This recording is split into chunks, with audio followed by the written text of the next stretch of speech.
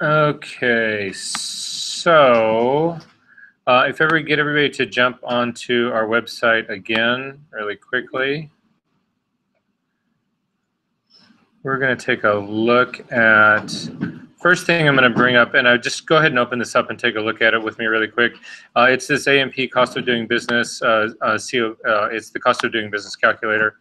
Um, and the only reason I ask you to bring this up is that when you first go to try to do this calculation, I think that this will actually help you. Um, it just helps you define the terms. So basically, what this is trying to do is to come up with a way to figure out what it really is going to cost you to live in a given year. Um, so the idea is this: if you can figure out, let's say, for instance, you go through and you figure out that after everything is said and done, it's going to cost you thirty thousand dollars a year to live, um, and you figure that you can actually bill hundred days a year. So it's going to be thirty grand. That's what you can make. And you can do it in 100 days. So you can, you have 100 days of billing that you can actually do it. So basically, you knock off those two zeros, and you know that you have to make $300 a day to uh, survive. It's that simple. So does that make sense, everybody? So we're actually going to go through this and talk about those parts. So at any rate, this is just helps give you a set of terms. But you see where it says here on the top that at its most basic, this is what it is. You take your non-reimbursable expenses, and what non-reimbursable expenses means is simply this. Let's say that you are going to shoot a wedding and you're actually going to manage the whole thing, and so you actually rent the country club where you're going to shoot this thing. That's a cost that you're going to actually pass on to the people who have hired you to do the shooting. That is a billable expense. What is a non-billable expense would be probably the gas that you put in your car to drive up there. It would also be the cost of your camera, um, because if you're not charging for your camera, in the old days we used to charge for film and processing. You guys uh, would be charging for, um, if you're not charging for the wear and tear on your digital camera, you're leaving stuff on the table. Who's paying for that? You. Right. So anyway, I'm just trying to make a distinction here between non-reimbursable expenses and reimbursable ones. So non-reimbursable, we need to talk about your desired salary. Your goal in this game is to not break even. If you're just breaking even and you're just getting by, you're not saving any money, you'll have a really shitty old life. Um, so you have to have a desired salary and all of this. That's going to equal your annual cost. Then you simply divide that by the number of billable days, the days that you can actually bill for this. Does that make sense? Okay, so that's what this whole thing is about here. And that's, like I said, desired salary. That's an issue that we've got in here. But if you're saying to yourself, well, I don't really know what that means, whatever, this is strictly a page that'll give you and say, you know, this is basically what it is. Um, it's basically uh, uh, money that you know that's over and above what you're actually what it, it's costing you to actually live in a given year or whatever. So anyway, that's what this whole thing is about. It's only page long, so don't. It's really not that much. Um, but the next thing down is something, and I want you to go ahead and click on this: the NPPA cost of doing business calculator. Now, this thing was not working um, uh, six months ago but it actually is working now. I ran it last night. So I just, I don't want you to actually fill this out right now because I want you to spend some time with this, really thinking about this. Do not look at this as an abstract. I need you to be really serious about this. So when it goes here, when it talks about your uh, phone cost, your cell phone cost, you really need to go back and look at your cell phone bill because I can say to you, oh yeah, I have an AT&T plan. It's 100 bucks a month for two lines. That's what it is. But the truth of the matter is, it's 124 something because of all the taxes that they dump on it. Well, that extra $24 uh, a month, whatever, over the course of a year is another $600. So you need to calculate this exactly. Yes. Is this monthly? No, this is this will be for a year. And you'll see down at the uh, end of it, it will actually then generate your monthly cost and your yearly cost. So I want to go through uh, just a couple things about how this guy works. Uh, and then I'm going to let you guys actually do this um, during the week. Um, but also know this. If you click on any of these headings right here, like this one, the office and the studio, it'll drop down and it'll actually explain to you what you're really looking to, to what they're, the number that they're actually looking for here. However, the one thing that I have a problem with in this guy right here is that they separate this out as if you um, uh, they don't what what they don't really have a provision in this for is the rent of wherever you're really living and you need to make that a part of this calculation the way i think they're trying to treat this is almost more if you had a studio and you were living in your studio. Because the truth of the matter is, yes, somewhere in this whole calculator, if you've got a house that you're living in, let's say you're, you're living in an apartment, but you're also renting a studio, somehow you need to account for both of those rents. Then that's got to go in here. I've looked through the rest of this, and I haven't seen anywhere else in here that they are actually giving you a place to put in a cost for your your house rent. Does that make sense? So this would be the one place that I would actually put it in. If you see it somewhere else in here, if I actually missed it, it's fine. It doesn't matter. It doesn't really matter where, where you actually put these things um, because all this is is a checklist to come up with your actual cost. But again, you need to be really specific about this. If there's some weird, let's say you're living in a condo and and it's not only your you know what you're paying for the rent, but you've also got um, uh, um, uh, some condo fee on top of it or a gym fee on top of it. This would just basically, they should have just left this as just rent, in my opinion, or, or mortgage, but nonetheless. You get, does that make sense what's going on here? Well, I mean, we don't have extra offices or studios right now, can we just consider that apartment? Or we shouldn't because. I know what I'm saying is, is that let's say you have no studio or other office, you would just have got an apartment. You would take the rent of that apartment and put it in here because this is the money that you are going to need to spend for a year to live, and your rent has definitely got to be a part of that. Yeah. That's the only thing I was trying to make here. It should, it's just, I think the titling on that is just a little misleading. So I just didn't, I, I didn't want you to look at that and say, well, I don't have an office or a studio, so that should just be zero.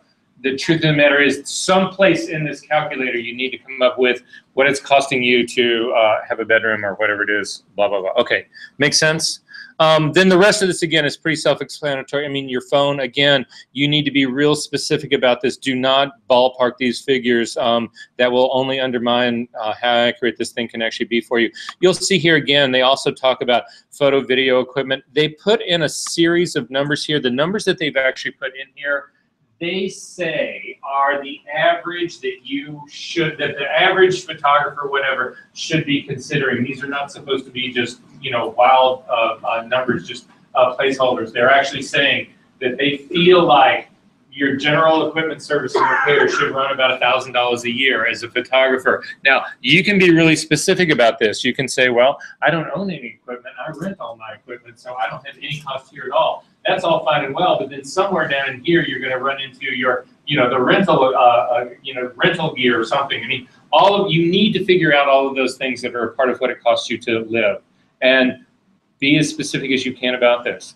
If there is something that you do, if you've got an insane crack habit, then you need to somewhere in here figure out, okay, well, I can't really call that my crack habit, so I don't really spend anything on postage, but I'm gonna put my $15,000 a year crack habit into this line item right here. It'll still work. The calculator will work. Does that make sense? The categories are not necessarily specific. It's just, so that makes sense to everybody? Okay, so I need you to actually go through this. So once you put all these figures in, as you go down to the very bottom, you'll see, when you get down to the bottom, um, this use default are just these numbers. So you would not use default. You can simply start out to do your calculation. You would simply hit clear fields, and it puts, it zeroes everybody out. And then you simply go through and you type in all of your numbers. And what once you get all your numbers typed in, uh, again, you hit the submit button, and it will come up with, oh, and you have to add, this is your desired annual salary. So again, this desired annual salary is over and above what it's costing you to live. So let's say you come up with all your expenses and you say, okay, after all of that money, I would still like to clear a $1,000 a month. That's after my rent's paid, my car's paid, all my parking is paid, the movies are paid for, the utilities are all paid for, my cable bill is paid for, my phone is paid for, my studio is paid for, all of that shit is paid for. What do you want above that? Over and on top of that? thousand dollars a year, in my opinion, would be a very noble, reasonable figure for somebody coming out of Columbia College. I would think. A thousand dollars a year? No, thousand dollars a month, twelve thousand a year. Again, everything else has been paid for, so this is like you know you're living, you're paying for all of that shit, and then this is on top, right? You'll be surprised at what the where these numbers actually ultimately come in. But that's up to you. If you say fuck that, I want to pay, I want four thousand dollars a month. Well, then put that figure in there. So at any rate, then you need to come down and you need to actually figure out, and this is, becomes the harder part in all this, this non-assignment income, what this really is, is the place for you to enter, let's say you're a trust fund kid and mom and dad give you $2,000 a month just to do whatever you want to with it. That would be where you would actually put this figure right here. So this has got, this is income that you're making that doesn't have anything to do with the photography business. Does that make sense? So if you've got another job that you, you, you're working in, you know, Starbucks, this is where that uh, income would actually go into here. And then finally, the number of days that you actually can bill. How many billing days would you think you could bill as a photographer? Well, I'll tell you. once a week. Is that working very often? No? A typical photographer will spend three days for every day of shooting. So you usually have a day of prep, you have a day of shooting, and a day of post. That's just typically how it works out. So the way most people would look at this is that if you've got 100 days of shooting, that actually equals 300 days a year. That's a very busy year. If you have 120 days of shooting, you are slammed. That's 360 days a year that you are actually working. You have no life. An average photographer is probably working 80 days a year. That's, I mean, 80 days during the year. That actually equates. These are billing days. These are actual working days. This would work out to 240 uh, uh, days a year. And that's a typical year. If you think of most people, and again, these are just general averages, but this will help guide you in this direction. Most people do a 50 work week a year. Most people take two days, two weeks off for vacation, or two weeks off that they're not going to work. So if you figure there's five working days in that 50 week, it's 250 days out of the year you're going to work, and that's why this 80 right here is an average. If you're doing 60 a day, I mean 60 a year, you're actually coming in at 180. You're struggling and if you're doing anything less than that. So these are figures that you can actually basically come in and sort of try to figure out what your year is really going to be like. Now, some of this is going to be based on speculation. Some of this is going to be based on experience. Some of you are already working and you're already going to know how many days this is.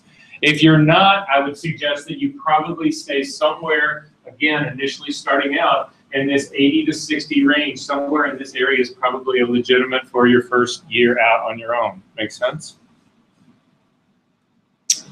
Okay, I have a question. shoot. So when we fill this out, should we do it as we are right now? Yes, you Okay. should, as you are right now.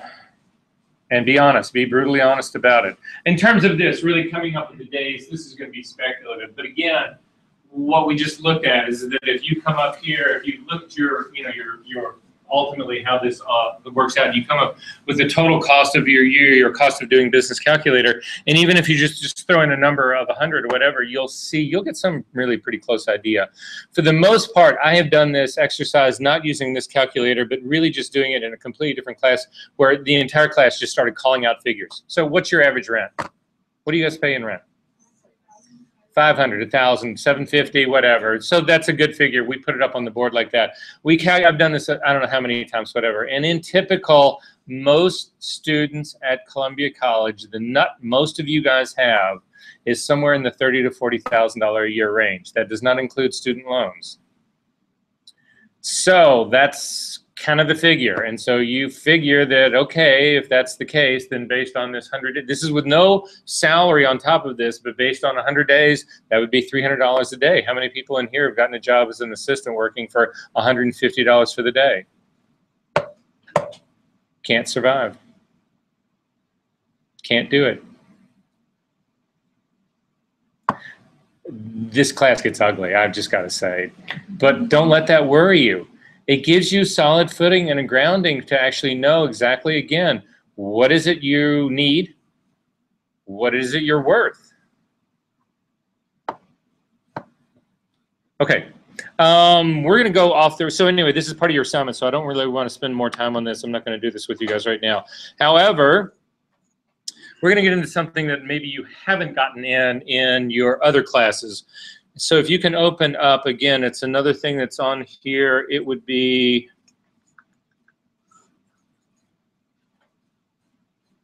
Oh, sorry, I'm looking, it's highlighted. Uh, this business comparison chart. If you guys can open up this for me. So we need to talk about the type of business that you actually do open up as a, um, uh, a photographer because there are serious advantages to the kind of business that you actually have. Most people do not take advantage of this when they first start out, and most people, which is bad, but most people make things worse by really not taking advantage of what they could possibly take advantage of as things go on and as you start to actually make money and become more successful. So what you're looking at on this chart right here is you'll see that there is one, two, three, four, five sort of different business entities that you could actually be. So the one that most of you would start out as or go out in the business world and actually do is this sole proprietorship. And if you look at here, it'll tell you sort of the advantages and disadvantages. So as a sole proprietorship, you uh, you do not have to be a citizen of the United States in order to do that. Um, you, uh, you you do report your business profit and loss on a personal tax return, and there's a serious advantage to that. Um, and then finally, this one down here, you're not required to hold annual meetings or record anything. So basically, in a sole proprietorship, you simply make money. You have a personal tax return. In addition to what you would normally have on a personal tax return, you have what they call a Schedule C. Schedule C is just your business income, and it's that's where that part is handled. So let's say, for instance, you do work at Starbucks, and you've also got a photo business going. And at Starbucks, you made 30 grand during the year, and in your photo business, you made 20. So what would end up happening is, is that on the front page of your tax return, they would actually have a place to put in the income from Starbucks. That would be a W-2. That's what all of you got. Everybody in this room has gotten a W-2, right? There is a copy of a W-2 on our website as well if you want to take a look at it. But it's the thing that they always send you that you usually get at the end of January. It's what you made, it's how much tax they held on you, and that's it. Right? So that would be that income. However, your business has generated income as well. And that income needs to be actually structured in such a way that you look at the money that you made in your business, but also the money that you spent in your business, what your expenses were. Basically, what companies, and this is all companies look at, is you take how much money you made and you subtract how much money it costs you to do it, your expenses, and what is left is your profit. You pay tax on your profit. You don't pay tax on what you made. You don't pay tax on the expenses part, whatever. You pay tax on your actual profit. Does that make sense? So let's say, for instance, you made $10,000. That's what you made in your business.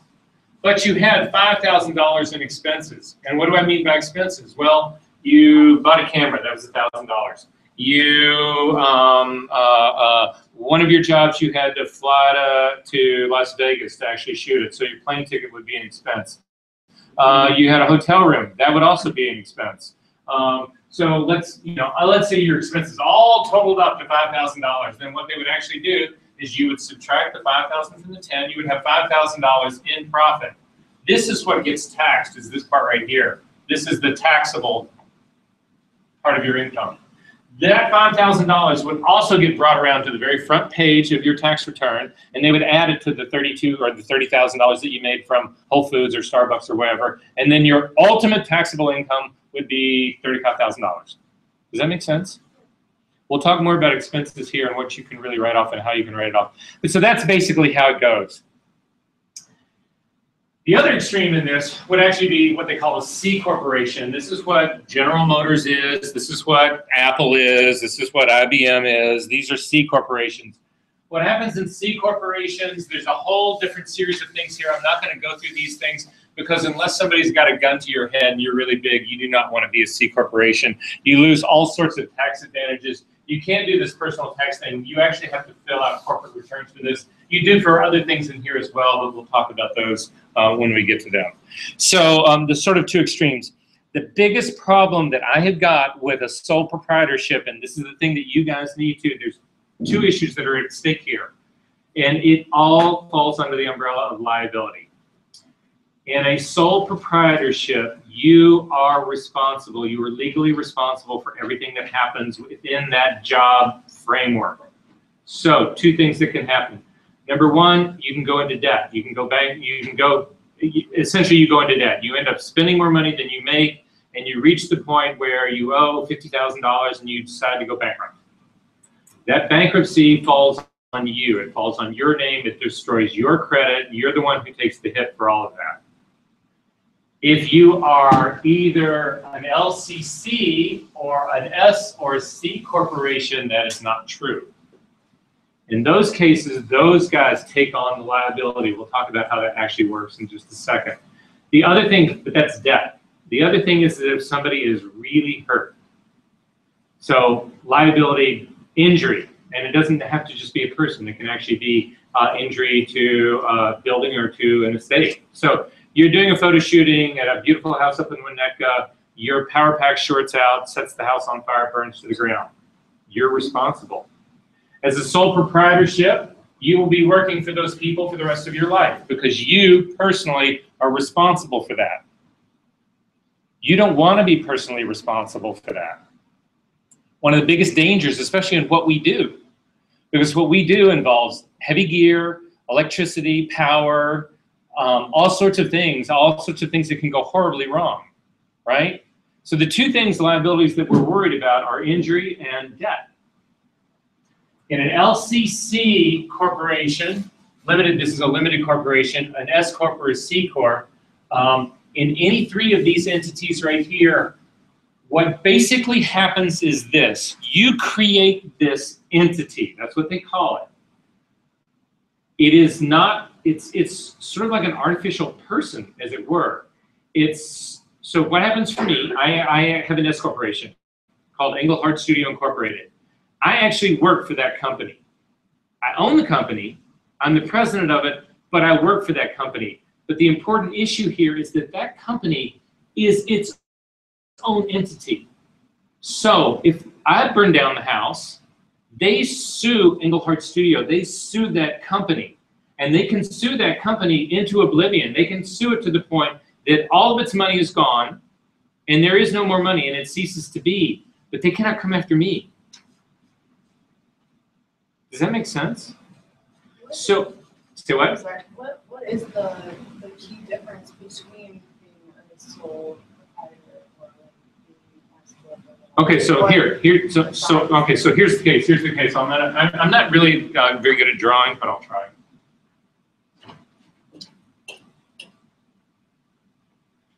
So, in a sole proprietorship, I feel like you guys can't see this, the dynamics in this room suck. Anyway, uh, I'll start over here. So let's say this, uh, sole proprietorship, um, let's say you've actually been working for five years and you've actually managed to save up uh, $50,000. So that's your nest egg. Make sense? Okay, so you've got your $50,000. This is your nest egg.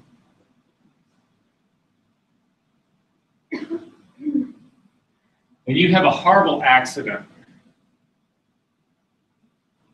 And that accident is a $1 million event.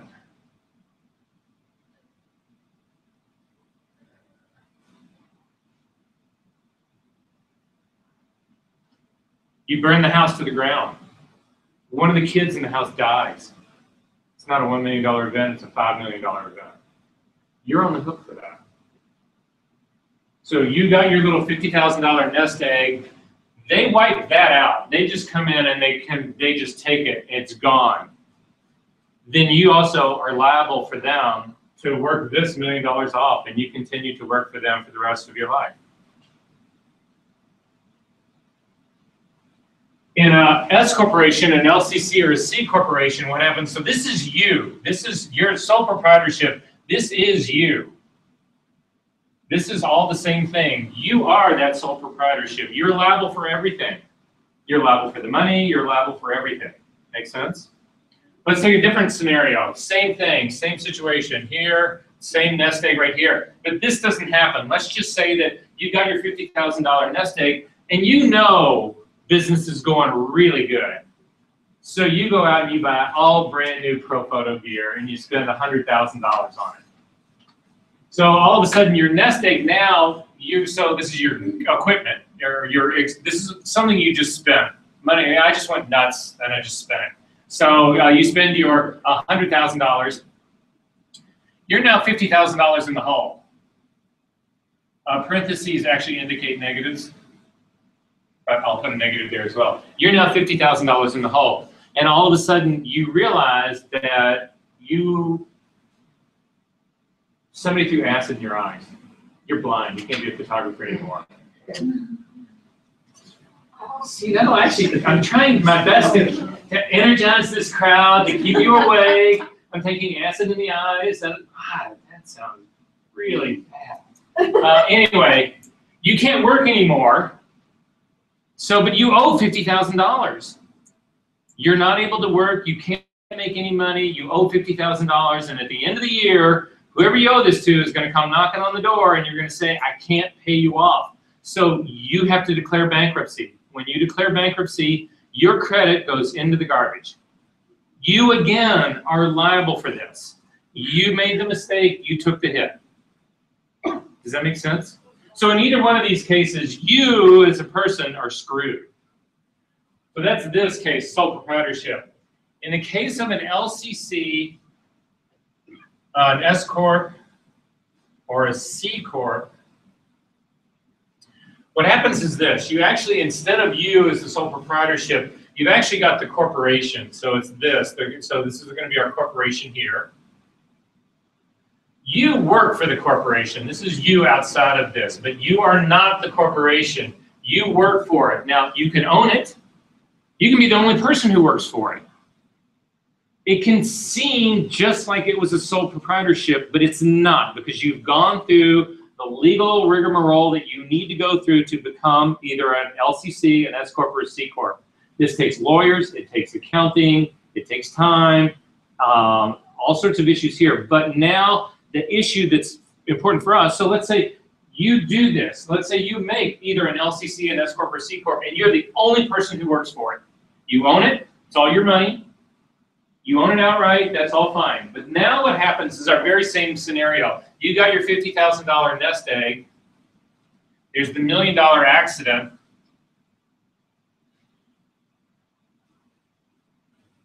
What happens is this.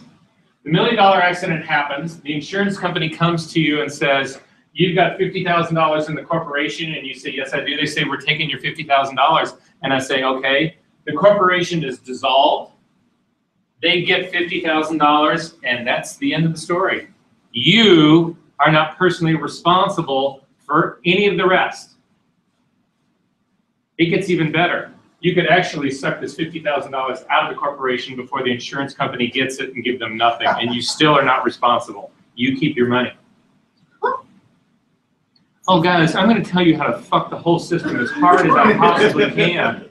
I'm not going to tell you anything illegal. But you want to know how the big boys play this and how they get away with all this shit. You want to know how Donald Trump can lose almost a billion dollars a year in one year and still, I don't know, buy an airline the next year? It's unfortunate that this isn't becoming more the norm to talk to you about all of this, exactly this sort of situation right here, because this is the games that you can begin to play to hang on to your money. Does that make sense what's going on here? Are there questions about this guy? So again, debt liability and injury liability are the two things that you avoid the most. I'm, I, I, hang on one second. And that's what's right up here. The owners have limited liability for business debts and obligations. In a sole proprietorship, it is all on you. In an LCC, in an S corp, and in a C corp, and I'm avoiding general partnerships right here because number one, I don't think they're really well. Number one, they don't have they have all the liabilities basically of a sole proprietorship. It just means that there's more people involved. It means that two of you guys can get together and and essentially have a sole proprietorship with two people instead of one. So there's not a whole lot of it more advantage to this. So that's don't get the feeling that I'm ignoring this. What I'm really wanting you guys to focus on are these because these are the money makers for you guys. Make sense? Okay. So I'm sorry, what were you going to ask? You said Apple is the sole proprietor? No, no, no, no, no. Apple is a C corp. Okay, I was. Apple is this guy right here. C corps are the big guys. Okay. So there are then differences in this in terms of what you do, and I want to talk about those differences right now. So there are. I'm hopefully convincing every single one of you that you should never open as a sole proprietorship. You should only open as, in the beginning, my suggestion is that you open as an LCC. And your next step would be to actually open as a S corporation, and you should try to maintain that status as long as you possibly can. In some cases, when I moved to New York and opened my studio in New York, the state of New York insisted that I be a C corporation. The money was just too big. Um, we fought it, we lost. We fought it again, we lost again, we fought it a third time, and actually got a redesignation as an S corporation. And I'll talk to you guys about what the difference is. Yes. I was just wondering, did Apple start off as a C corporation? Oh, no, no, no, they probably started off, I guess, I don't know how big they got really quick, but my guess is that when it was just the two of them originally, it was probably an S corporation is where they probably went. But the minute they started taking on serious personnel and that's a factory, you're a C corporation. They only let you get so big as an S corporation. Yes, And why is that, that they only let you get so big? uh, because of money. That's what we're gonna talk about right now. Taxes, Oh, so they can charge you more taxes on the C corporation. much more. you not only pay taxes without getting too far ahead of the game here, because that's what I'm going to try and share right now. In a corporation, C corporation setup, you pay corporate tax on all the money that's earned, and then all the money that's either distributed is, is, is stock dividends or anything else is taxed again. So it's hit twice. In an S corporation, it's only hit once. But there's other advantages. Okay, so we're going to look at an LCC, and we're going to look at an S corp. These are the only two I want to talk about right now. Because they're really only the two that really sort of apply to you guys right here. So, in this situation, what happens is this, the couple things that are common about it, is you eliminate this issue of liability. That's the biggest thing that's important here for you guys to know. That you eliminate personal debt in this as a liability, and you also eliminate the liability if somebody's hurt. Again, so no matter what happens to your business, if it goes under, for whatever reason, you do not carry that burden as a person.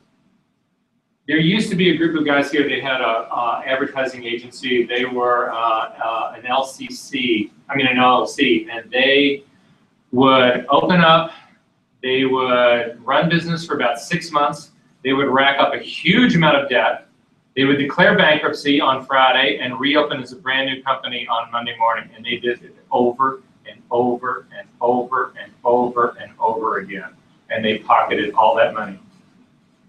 Now, I don't necessarily think that that's a noble way of doing business, and when word gets out that that's the way you do business, it's very hard to keep clients because nobody wants to work with people who do that. But these guys scammed this stuff forever, and it was all legal. So anyway, an LCC. The advantage and the reason I think it's the easiest and the best thing for you guys is it's basically one piece of paper you fill out. There's very little that's involved with it other than you have to apply to the state.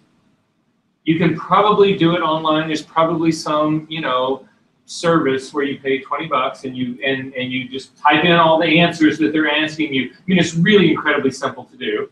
And they send it into the state and then you get designated as an LLC and you are good to go. All of your business operates under that.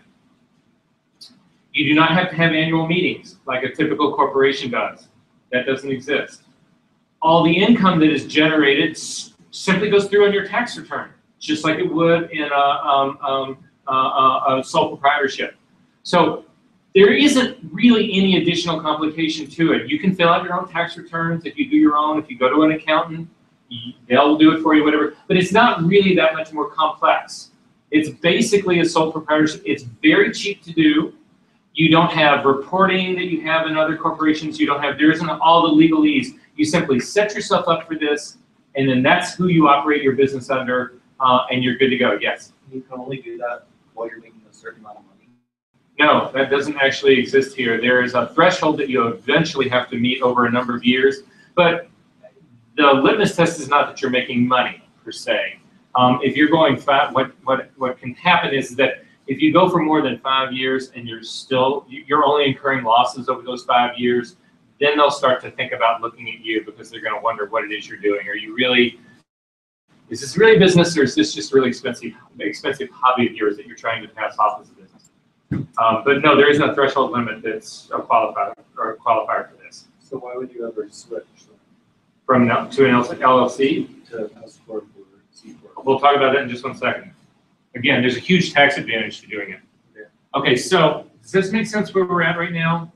So my suggestion to you guys is this is your first step, is that you think about looking into an LLC. Again, very inexpensive to put together, very little demands on it other than what you're already doing. You're already doing a tax return, I imagine. If you're not, don't let me know. Now, I, this is a true story. I had a friend, she was a really successful model, and she did not file an income tax return for five years. And she was pulling down over a hundred grand a year. But she knew, so she's not filing the return, but she knew she owed the government money. So like, just every month or two, whatever, she would just write a check to the government. She would write a check and put her social security number on it and just send it to them. She, and she would just guess, oh, here's ten thousand dollars or here's twenty grand or something. And she did this for five years. And finally, somebody caught on to it. I mean, nothing, no letter, no, not just a check with her social security number on it. And they finally audited her. And she came in, as it turned out, ironically, I mean, if you knew this girl, you, she's, she's, she's the luckiest girl in the world. As it turned out, she was actually really pretty close. She had given them like 80% of what she really owed them. And so they didn't really spank her that hard for the money part of it, but they spanked her really hard for not filing her tax returns. They hit her with a whopping penalty for doing that. Um, but anyway, so yeah, the tax game. Okay, so the difference in this is that, okay, so this starts out, this is very simple to do. Uh, there's no annual meetings. You'll see the stuff right here that it talks about it here. The difference in here. There are no annual meetings. There's uh, very little legal legal expense. Um, however, you do get protection, so liability protection. Um, it's personal tax return is how this is filed, P-E-R-S-O-N-A-L.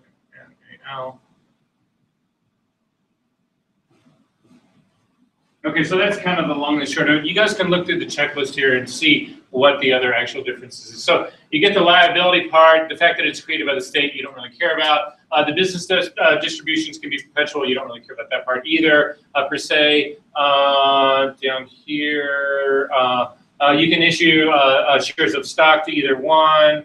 Uh, and finally, this is the biggie, right? Well, they're all biggies, but uh, this owners can report the business profit and loss on their personal tax returns. This is going to become a huge item for us because there is, um, you guys have heard of, of taking advantage of the tax code. I'm going to show you guys how to take advantage of the tax code.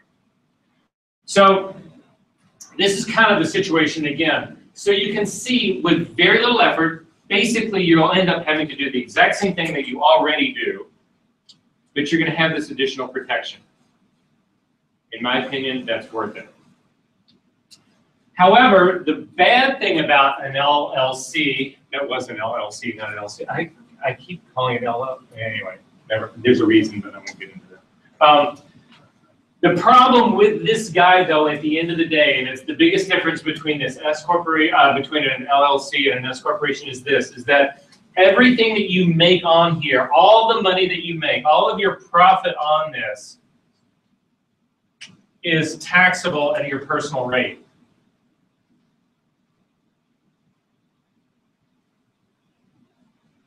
So what does that mean? Well, that means most of you guys, I'm guessing, are somewhere in the 15 to 25% tax bracket. That's how much money they take out of whatever you make. In that case, every single penny that your LLC makes gets taxed at this very same rate. It gets taxed at this personal, whatever it is, the 25%. In an S corporation, that's not the case. And this is where the tax game comes in. So in an S corporation, there's a couple of differences. In an S corporation, it's far more complex to set this up. C-O-M-P-L-E-X, set up. You usually have to do this with a lawyer, and you also have to do it with an accountant, and that costs money in most cases. Now, again, there are websites now that you can go to that will say that they can actually do this for you for $500 or 50 bucks or whatever. Uh, I would be a little bit nervous about uh, going uh, that route with it. Because the truth of the matter is, all of the legalese of this happen in an LLC. Pretty much, you set it up and it takes care of itself for the rest of your life. You're good to go. In an S corporation, you have to have annual meetings. You have to issue stock. You have to do. There's a whole set of other issues that you've actually got to go through to actually manage an S corporation that become worth it when you finally reach a certain threshold to make a certain amount of money. And we'll talk about that in just a second. Yes. How do you, what do you do? Oh, nothing. They actually, the lawyers just generate a series of meetings that it's just boilerplate and you sign it and it goes into your report, into your book. They file it with the state. You, there's nobody ever meets. Oh, no, that, And yeah. then how do you distribute stock? Okay, so we need to talk about corporations and basically how they work, because I didn't, I, I, so I think some people are very familiar with stock and how it works, some people are not. So we need to talk about that issue really quick. So I'm gonna give you just the brief, simple rundown of this, and it works sort of like this. When you decide that you're going to start an S corporation, whatever, you, um, basically corporations issue stock, and the stock represents the value of the company. So, in my case, I am a part shareholder. I own shares of stock in my company. My wife own, also owns shares of stock in my company. And basically, what those shares do is determine how much uh, uh, um, uh, value each of us has in the company. So, in our case, we split it 50 50. So, I have 100 shares of stock in my company. My wife has 100 shares of stock in, in the company. Now, typically, if you were to buy stock like an Apple, what you do is you would actually give them money. You're essentially loaning them money by buying their stock. And in return, they give you stock that is a piece of the company. It's actually a piece of the company. So if they have a million shares and you buy one share, you own a millionth of the company. So how many, sh- can you have any amount of shares? Yes, you can have unlimited. The share number doesn't matter. So you can just make it up, You do, and that's exactly what you do. okay? So this is all sort of like just again trying to generate this entity to leverage tax code that's been written. That's basically what we're going to try to do here.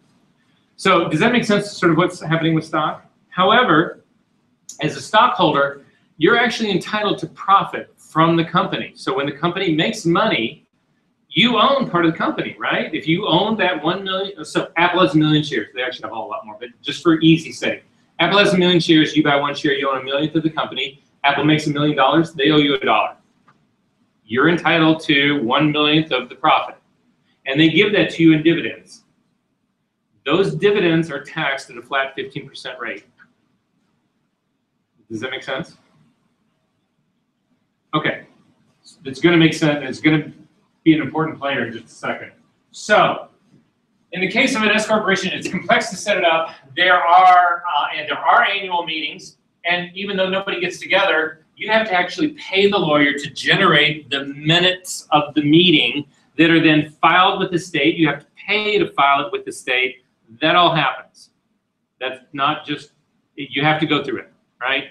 Typically, in my case, my lawyer just does it. He sends me shit all the time. I sign it, and he probably owns my children and my kidneys right now. But at any rate, I have no idea what he. I just sign shit where he says, "Yeah, So my mom's a lawyer, so if she did that for me, then that Oh, yeah. free. And then you just have to pay the file it. yeah," which is fifty bucks a year, Okay. Yeah, which is nothing. So yeah, your mom will. Yeah, is your mom a business lawyer or a, a uh, criminal lawyer or a a divorce lawyer. divorce lawyer? Yeah. She'll know enough about this. So at any rate, a little business here. Everybody here can go to your mom. So you can do a package deal of LLCs, okay. Um, so the other issue that's involved in this is that there's not little expense. There is expenses that are involved in this, and they are legal and accounting.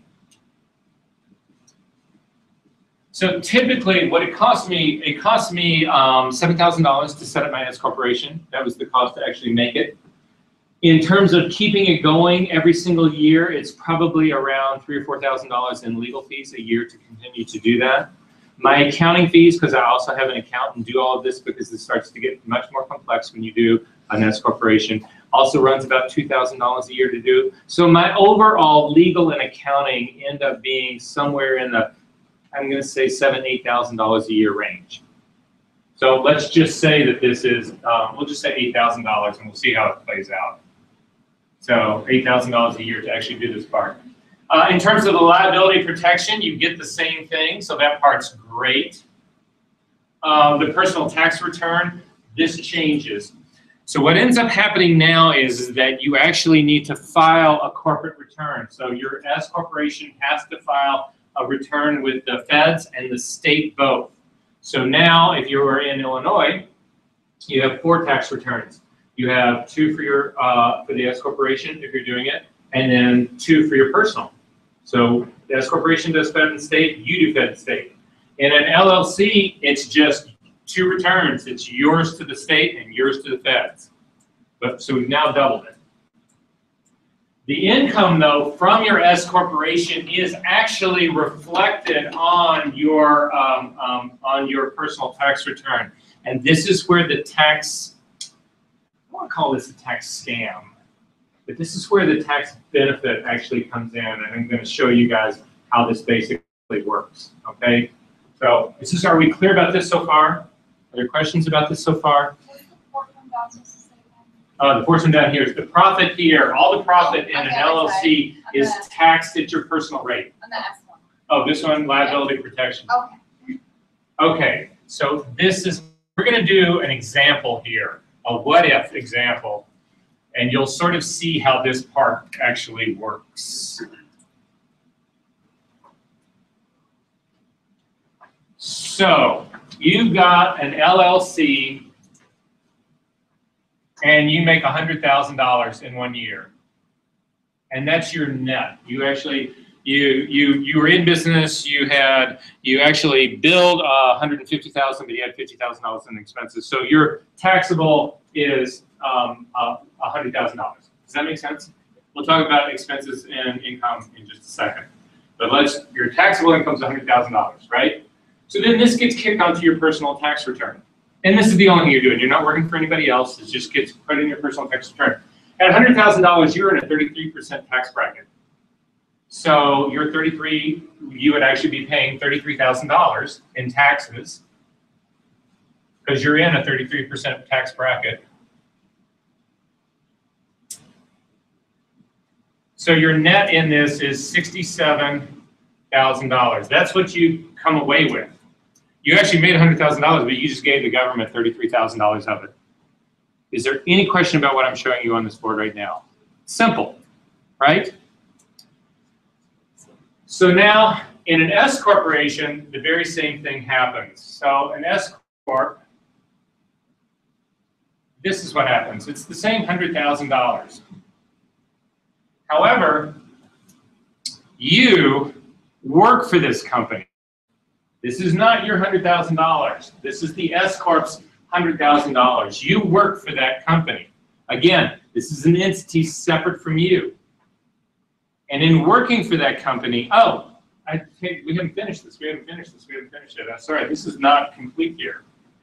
That hundred thousand dollars taxed at your personal tax rate. This is your thirty-three percent tax bracket. However, you've also got a Social Security and uh, Medicare that comes out of this.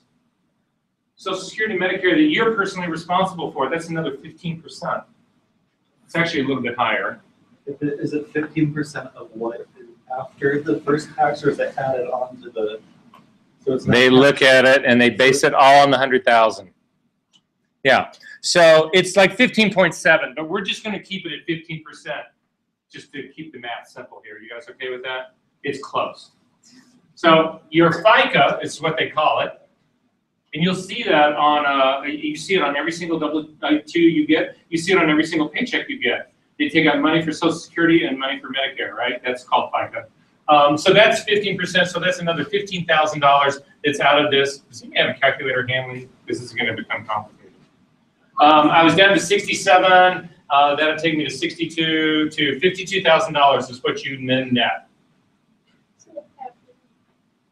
Yeah, gotta love it, right?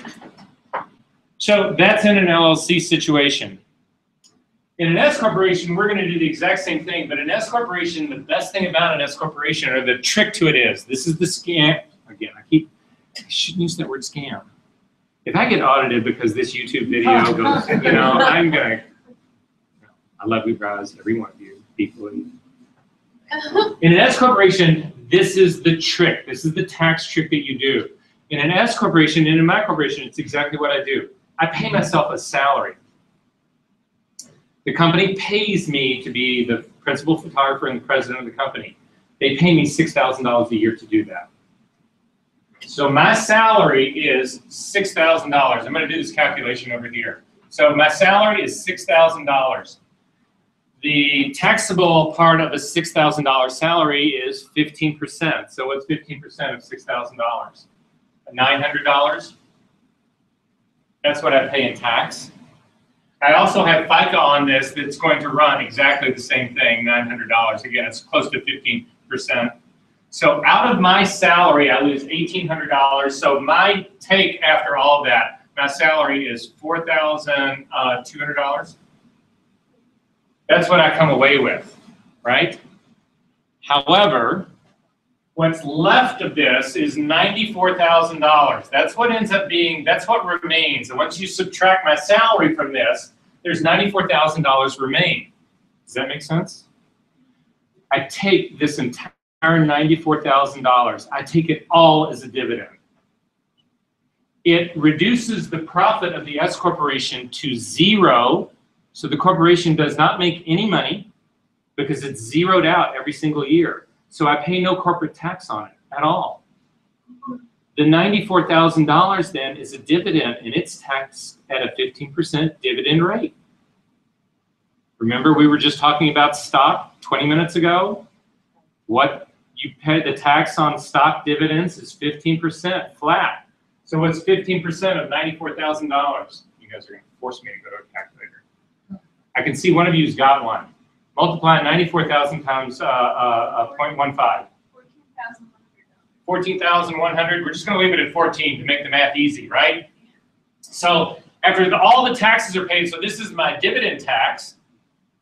All my taxes are paid. This 14,000 comes off of this. This ends up being $80,000 is what I net on the dividend plus the $42,000 that I got as salary. So I've made $84,200. Would you rather make eighty-four thousand two hundred dollars or fifty-two thousand dollars? Now, there's one last hit in this. I have to pay for my lawyer and the legal expenses out of this. Remember that eight thousand dollars I told you about? I'm gonna lose that eight thousand dollars. That's gonna come out of this as well. So at the end, I make seventy-six thousand two hundred dollars as opposed to fifty-two thousand. That's, uh, if we look at the difference, the difference in fifty-two thousand, uh, forget the two hundred dollar part of it, uh, for twenty-four, twenty-four thousand dollars more as an S corporation. Did you guys learn that in your business class? So like since like you own half your business and your wife owns half your business. So you'd split that? But we're married, so we file on the same return. Oh, okay. So it, you would, as a, it, doing this by yourself would work the same way. But So so as an S corporation, you have to have, uh, stocks, you can't own all of the stocks. No, you could, is, you, one person can own hundred percent of the stock. Oh, so you can't do all. It, it would, the math ends up being exactly the same. But yeah, so So what's the point of having stocks in it if you're, if you own hundred percent? Because you are taking the money out as a dividend as opposed to an oh. income. This is the game, this is the S corp game that everybody plays. I'm confused. So then is that money locked in in the company? No, But it could. I own the company. It could be if you wanted it, so you could keep the money in the. hard- And most people do. They would just put it right back in. They would loan it right back to the company at the end of the year. But you take it out so that the company's income is zeroed out so that the company pays no taxes. What do you mean by zero? I, what ended up happening was that after my salary was paid, the company still had ninety-four thousand dollars in cash. If I left it in there, the company would have to pay tax on that, corporate tax, which is much higher. Instead, I take it all out as a dividend. I pay fifteen percent on it. There's nothing left in the company. So you take it out before doing that? Yes, exactly. Oh. oh. so so is that fifteen percent of the dividend taken out when you file your personal tax? Exactly. That's where the personal, the dividend tax is paid on my personal tax return. But this is a twenty-four thousand dollar boost on the same amount of money. Even with the legal expense. So would that happen with every, empl- like, would that happen to every employee with the same? This is, that becomes the tricky part about this. As your business continues to grow, do you then hire people and bring, and treat them as employees? Or, or do they basically stay as freelance? Because that becomes a big issue. If you hire somebody as a full-time employee, if your company hires a full-time person, right? Then you are obligated to them for all sorts of things. They are actually have a right to share in part of the profit here. They also, you owe them also other things like, um, uh, you owe them health insurance and you would owe them uh, other things depending on, again, the number of people. So what most people in my case do, and what's going to happen to all of you guys, is you're never hired full-time. You're actually hired on uh, as um, um, a work for hire. You're never somebody who, uh, this is an issue that happens with uh, domestic uh, help all the time with maids. If you've got somebody that you're hiring uh, that's there at your house three days a week, every single week for the whole year, whatever, the government looks at that and says, that's an employee of yours, that's not a freelancer.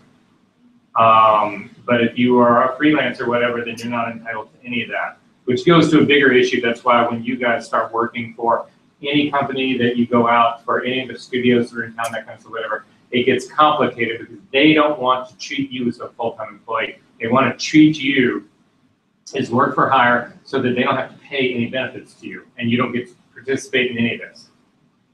So if you do have a full-time employee, how much of the profit do they get? I would never have a full-time employee. It just is off the table. But if you did, how much are they entitled to? It would all depend on how much they're getting, how much money that they're making, how much salary that they're making. All of this then would come out of that. So let's say you're paying them, because you can't, clearly you're gonna pay them six thousand dollars a year. I pay myself six thousand dollars a year because the government requires you to pay yourself something. And what they call it, this is a really interesting thing. I'm just gonna read to you what they call this, what the government says. So the government says shareholders should pay attention to paying themselves a reasonable, in air quotes, reasonable salary for the work they perform for the S Corp well, I'm claiming as little as I can, but do you think $6,000 a year is a reasonable salary for anybody? Haven't gotten called on it yet. So you want to So how- as low as you can you need to get as low as you can because the less money you pay yourself in salary, the more that gets diverted to as a dividend. So how much can you get away with? I, I incorporated in 1987. It's worked every year so far. Okay. So do you just pay yourself that? Say what? Do you make more than that? Do I make more than this? Yes. So, but there's a hook in this. There's a hook in this. So it's not all like rosy here. So we're gonna look at a different scenario right here. So, but the basic, are there questions about this basic math, about what I'm really trying to do here? Basically, what I'm trying to do is as an S corporation, I can take money and divert it to, I label the money, the income, I'm labeling it as a dividend. I'm not just labeling it, I'm actually going through, I'm, I'm doing tax returns, I'm doing all the shit to make sure that this is legitimately a dividend that is paid to me so that I only have to pay fifteen percent on the money. And this happens, if I, I could triple this money and it's still, the, the, the, you know, the three hundred thousand dollars, my tax rate on that money would still be fifteen percent. I would not be up at the thirty-eight percent tax rate, that's the highest tax rate that we have in the United States right now. Thirty-nine, you're right, you're right. I wouldn't be at thirty-nine percent, I would never get there for the dividend part. The dividend part is always gonna be at ten, at fifteen percent, at least until they change the tax code.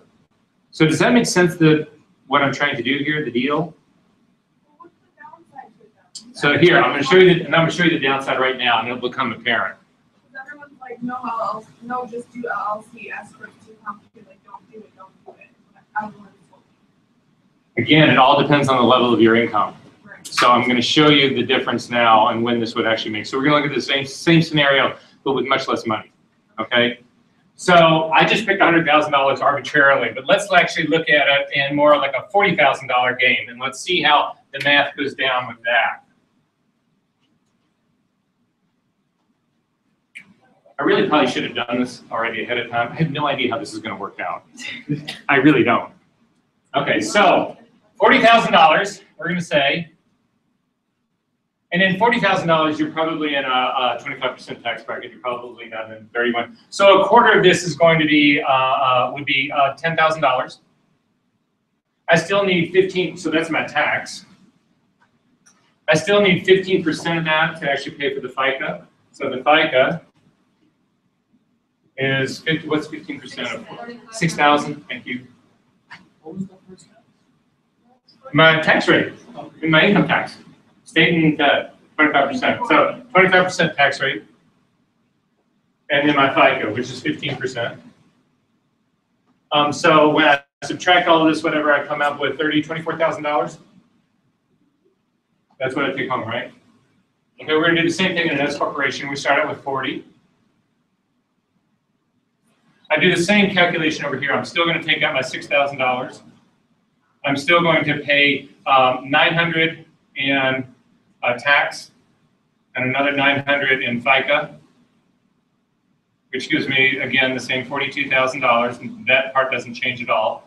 So uh, this $6,000 gets subtracted from his, so this leaves me $36,000 as dividend, 36000. Uh, is a dividend. I pay 15% on that. Can you do 15%? It should be 34000 Oh, yeah, yeah, yeah. No, you're absolutely right. Sorry. You're right.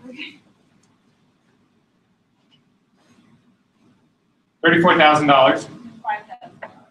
Uh, I'm sorry. And then the tax on it? 25%, right? Oh, 25? Yeah, we're doing this at a 25% tax rate. Uh, I'm sorry, we're doing 15% of this. Oh, yeah. What am I talking about? 15% of $34,000. So this is my dividend, uh, my uh, tax rate. Yeah. Yeah, 5,000. So I subtract that and end up with 29,000. Yeah. So I end up with 29,000. I can add the 42,000 back into this because this is still money that I've got. So if I add the 4,000 back into this, it ends up being $33,000, 33,200. But I still have eight thousand dollars in legal and accounting expenses. So when I subtract the eight thousand from this, it ends up being what? Twenty-five thousand? Twenty-five thousand two hundred dollars? Um, so that's the difference. In this case right now, I'm only making one thousand two hundred dollars more going through all this hassle. But if you could see, if you drop that to thirty-five thousand dollars, all of a sudden, you would make more money being an LLC than you will make being an S corporation. There's a flipping point where the cost of being an S corporation uh, becomes viable, and most people put that figure around sixty thousand dollars. So if you were making less than sixty thousand dollars, in most cases, you're better off doing an LLC. When you get above that, you are better off doing an S corporation, and certainly by the time you start getting up into the 120, 150, 100, 200,000, 250, that range, you are clearly better off doing this as an S corporation. Does this make sense? Yeah, so at what point do they make you become a C corp? In New York, it was just, uh, again, it was the way they actually looked at it. They really, New York really, New York, understand, everybody understands that this is going on. This is why everybody does it. Uh, That's the only reason people do it. Um, and they were really looking to generate tax revenue. So in their case, they get to, they look at your business and they simply tell you what it is you can and can't do. And you keep petitioning for it. You, so we went in and said, we want to get registered in the state of New York as an S corporation, and they came back and said, you can't. Because you're making too much money. I, I, they- you, they don't really, they don't really get into that much of it. They cite all sorts of reasons, but, Um, yeah, but that's basically the long and short of it. You and S- What's interesting about in New York, though, that gets even more so is that in New York, you have an additional tax. In New York, you have a city income tax of ten percent. So again, trying to get more money diverted out is general income and more as dividend income. You're not paying that in a city, in an income tax. So were you an S corp before you moved? Yeah, I've always been an S corp in Illinois. That's where my first corporation was here. I incorporated here. Um, I opened New York in, in, um, nineteen ninety-nine. So So I'd already been twelve years here. You, when you move to a new state, you have to re. Oh, yeah. Oh, yeah. What if you work? Oh, yeah. What if you So, in different, like, what if you to, okay, no, no, all interesting questions. what So internationally? international is a little more complex. We can actually talk about that, but unless anybody's here is really getting ready to move international, um, Well, what if you go for like one job or something? If you go for one job, you don't really have to worry about it too much. Here's the deal, and the way that actually New York treats it.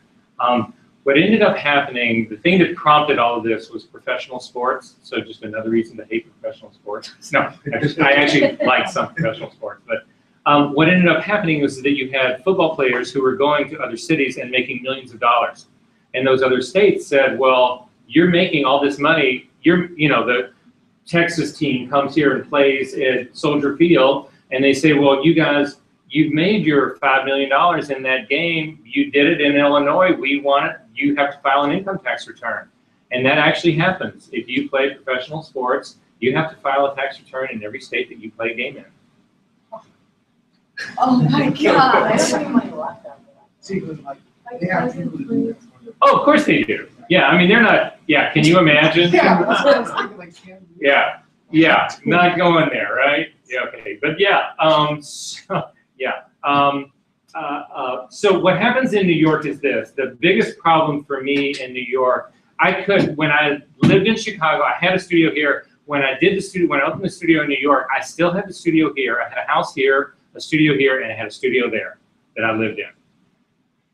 The living there part is what complicates it. That's when they actually say at that stage of the game, you are living here and you're working here, you have to file tax returns here. That was different than when I would fly into New York for one day or two days here in Chicago, and then I would claim all that income here in Chicago.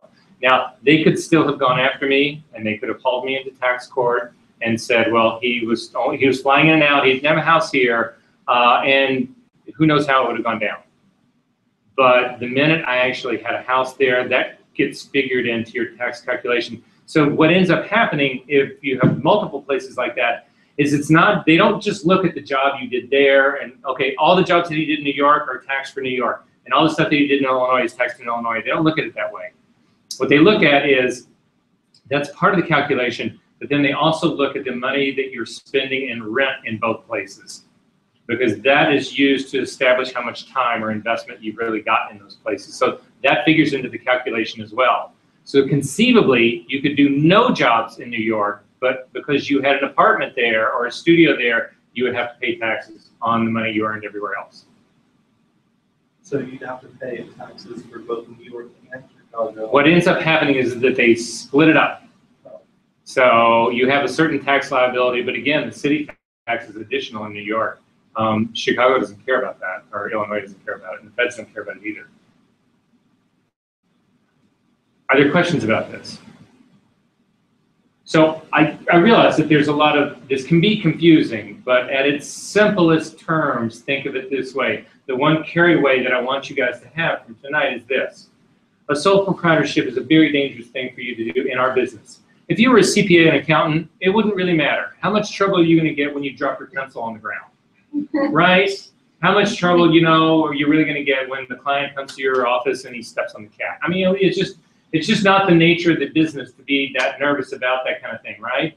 But that is not what we do. What we do is actually fraught with the possibility of huge damage, either physically or money. You do, you shoot the wedding. And you didn't know that your sensor in your camera was not recording anything because you didn't bother to check during the whole thing. And at the end of the day, you don't have a single picture. And they sue you for that. Well, that changes the whole game. That's, you know, my, my accountant is now, I'm never going to sue my accountant for, oh, you left out, you know, item number 89 on column four. I, that's just not going to happen, right? There's certain things that carry more liability than others, and photography, in my opinion, is one of them. And a freelance career is certainly a liability when it comes to money. So, my suggestion is that the LLC becomes clearly the thing that you consider first. And then again, once you start getting into that 50, 60, 70,000 dollar range, and we're talking about net now income, at that stage of the game, you need to sit down with an accountant would be my suggestion um, and do the numbers and say, at what point does this become financially a better deal for me to do? Because in most cases, once you reach that point, and hopefully every year of your career, you're going, every year, every next year is going to be better than the year before. So once you reach that threshold, hopefully it'll make sense to stay there because you're going to continue to make more money and more money and more money and more money. Does this make sense? But I'm telling you guys, this is how the big boys play this. Now, every single person in this room is capable of understanding this, and everybody in this room is capable of leveraging this. $24,000 can mean one hell of a party at the very least, right? Okay. Um, really quickly, I want to jump into something else here. We don't have too much longer, guys. We only got a, another half hour of pain and misery. Um, I want to talk about income and expenses so that we uh, possibly have a little bit better idea of this. If you go back to our Moodle site, I've actually given you my list of income, expense, and categories. If you click on that guy, it'll open up and you can actually take a look at it. Now, some of these things may or may not make sense to you, and I'll describe to you why I have uh, different things, and we'll talk about um, possible other. There's another tax um, strategy. That's what we're going to call it. Doesn't that sound better than scam, right? That sounds more legitimate, right? Isn't that what? Yeah. Yeah, it's a tax strategy. I'm going to talk to you guys about another tax strategy in just a second. Uh, okay, but I want to get actually to talking about expenses and income. So, in the whole game of this, what ends up happening is it's not when they talk about what they tax your income on, it's not the money that you actually are paid. That's not what it's all about. It's the money that you're paid minus what it really costs you to actually do that work. Um, so what we were looking for is a net amount. So in my case, and I'll go through these categories really quick. If you look up at the top, I've got income categories for me. I have um, photo expenses. Now, I, I typically use, and I would suggest, oh, let me, actually, I'm going to jump back real quick. You guys don't need to do this, but I'm going to go back and um, uh, just show you one thing. There is a link here for Quicken. It is a um, $79 accounting program. There's an, also a link here for a accounting program called FreshBooks. Um, there are other ones out there that exist. Um, uh, uh, I don't necessarily, I'm not advocating necessarily one or the other, um, but I am strongly advocating that you've got to use some system of tracking your your income and your expenses. Yes. Um, if you, fresh, what's it called? Yeah, FreshBooks. I use that, but just for one company, one company wants me to use that. Okay. And I like, they me call them and be like, I'm only using it for one company, you send a thing for one company. So you can like, make it for one company and send it to yourself and then you Oh. have like an account and then it's free. I don't pay for it, but. Oh. So you have a FreshBooks strategy, So, sort of. I have no idea how that exactly worked, but everybody in this room knows this now, and we can all come talk to you. We'll do that during the break next week. You can maybe show us a little bit more exactly how that worked. Yeah, I don't, I literally just called them and was like, hey, I work for this company and they told me you used to have this deal where if you only use one company, you would give it to us for free. And they were like, okay, we'll send Oh, so you approached the FreshBooks people on this. Oh, I thought you had a client that you were doing this with. Uh-huh, no. Oh, so basically you just call FreshBooks up and say, uh, I only work for, you know, whatever. Can you, yeah, somebody told me, will you send it to me for free? That's what I did. Okay, go for it. For two years. Anyway, the point being in all of this is that it's a way for you to actually track your income and your expenses, and that's what the part that I want to talk about, and we'll probably finish on uh, tonight as far as being able to do this. So let's talk about. Let's what? Like you reoccur- like you pay for it like yearly or is it you buy it? I'm gonna. I'll show you exactly. I'm gonna. I'm actually gonna show you my version of. I did this last time. I'm gonna show you my version. I'm gonna actually show you my books. Um, I'm probably not gonna record that part on video because I was thinking later on when I actually had it, because there's all sorts of stuff that like all of my uh, account numbers and uh, it, there's a lot of information in my books that I don't really want the whole world to see. So we might block that part of the video out, but I'll see what it looks like when I get there. So at any rate, so uh, basically, though, it's this. So what I end up with this is that photo expenses, I keep photo expenses separate from photo fees. And what photo expenses are are billable expenses. So I go to shoot a job in Milwaukee. I'm shooting for Carson Pirie Scott. They pay me $3,500 a day to do the shooting. I have to pay for a hotel, I pay for gas when I drive up there, and I pay for food. They reimburse me for those expenses In addition to what you get. in addition to what I get paid. So I like to keep those two figures separate because if I keep only the photo fees, if I track just my photo fees, that's some idea how my photography business is really going. It's got nothing to do with whether I can mark up a hotel or if I'm billing model talent, if I can mark that. It's got nothing to do with that. I want to know what just my photography is earning. So I call that photo fees, and then you'll see it's right here. The other stuff, the hotel that I'm getting reimbursed for, that kind of stuff, whatever, is photo expenses. My fees in New York, I have to keep separate because I'm tracking that money separately, so it ends up the same thing. However, I only check my fees in New York. I all my photo expenses are run through the corporation in Illinois. So if I pay for a hotel in New York, or if I pay for a model in New York, or if I pay for lunch or dinner or whatever catering, whatever it is, that's not considered an income that I do in New York. It's all run through Chicago. So I accept the fact that I have to declare my photo fees there, but that's the only thing I'm declaring to them. Then there is uh, sales tax, and this is an income. If you charge sales tax, you make money. That is an income. You now have to turn around and give it back to the state, but it's still an income. Does that make sense? So I've got in the state of Illinois, if you charge a 10% sales tax, uh, it's close to 10% now. You have a $100,000 shooting, that would be a $10,000 tax, sales tax. You would bill a client for $110,000. You would collect that $10,000. That is income. But then you turn right around and send it out as an expense as well because you send that right back out to the state. So for you guys, it's it ends up being a wash. Make sense? Okay, so I keep that part separate. Processing as income. It used to be in the state of Illinois, and this is actually a great one. You had there was a specific code that was written in the state of Illinois tax code that photographers had to charge sales tax on processing. Not on your work, not on your shooting fees, not on your assistant fees, not on your seamless costs, not on that. You had to charge it on processing. So we all had to go out and register with the state. You have to register to get a sales tax certificate. And then you had to collect sales tax on your film processing cost.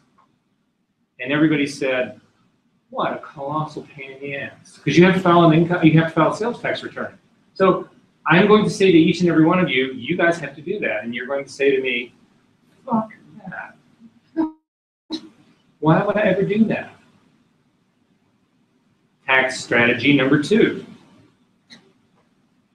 With a sales certificate, every single thing that you do in photography is exempt from sales tax. You go buy a camera from Central Camera, you pay no sales tax.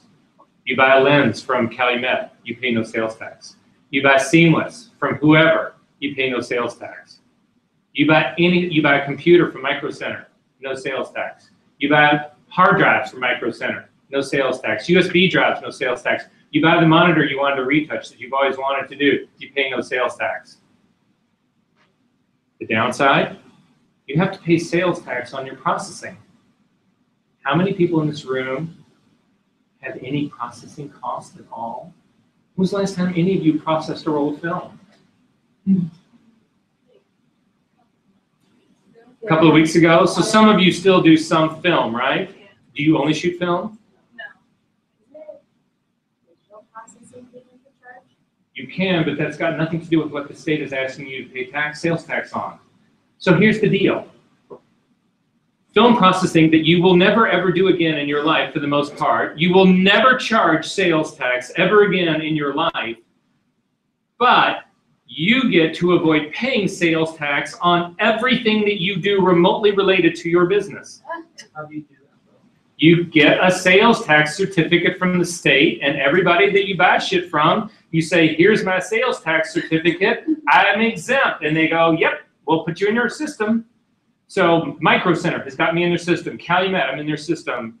Central Camera, I'm in their system. You email them with a copy of your sales tax certificate and you say, I need sales tax exempt status. And they say, okay. Every business in the world is doing this. Yes, you guys thought I was just going to lead you down the boring lane. Oh, that fucker is going to drone on all night long about this shit. He's not going to save me any money at all.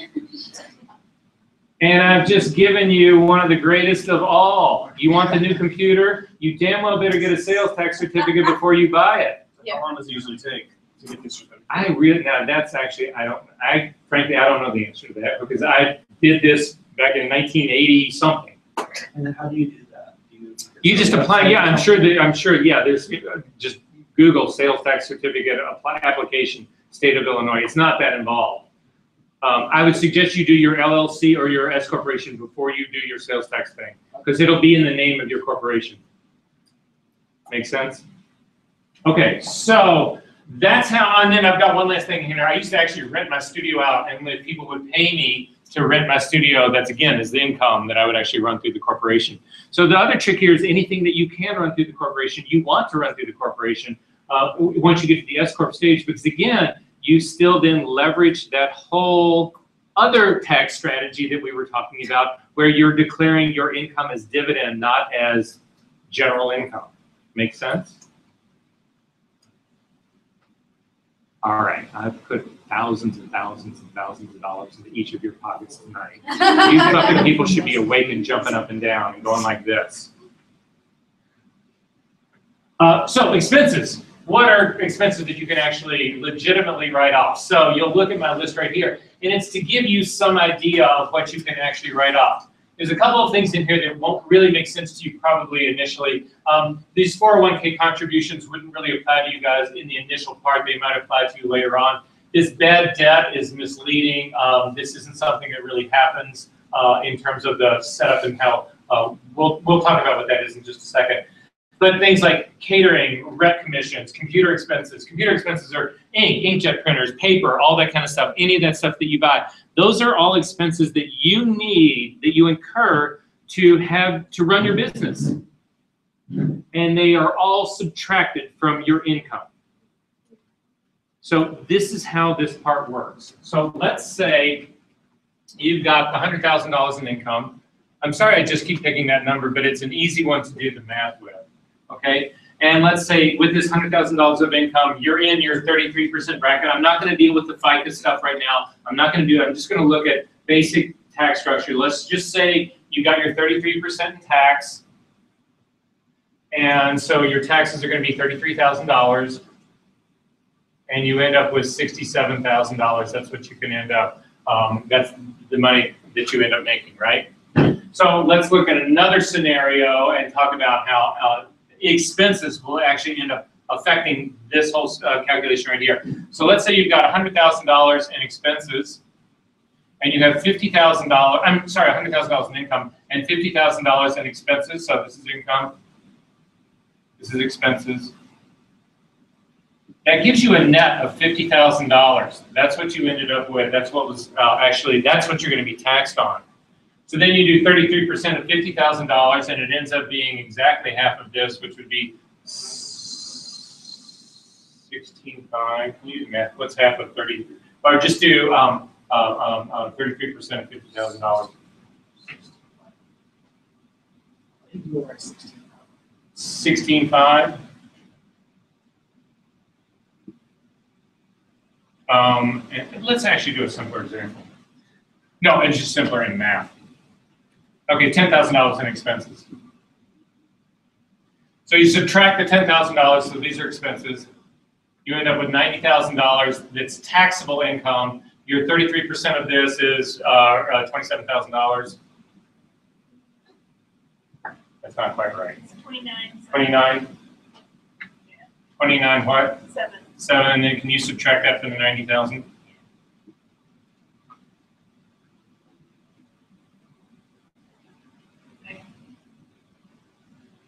I'm going to go out on a limb and. Uh, sixty thousand.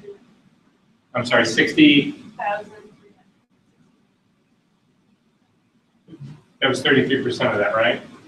Okay, so, yeah.